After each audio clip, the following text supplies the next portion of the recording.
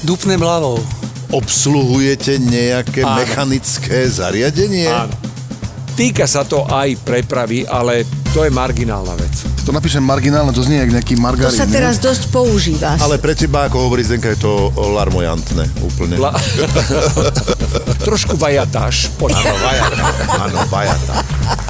Dobrý večer, prajeme nášmu tajnému hostovi, ktorý je, dúfame, lebo sa nám to ľahšie háda, zo Slovenska. Áno aj. Aj. A účinkuje v televízii Joj v nejakom seriáli Účinkuje.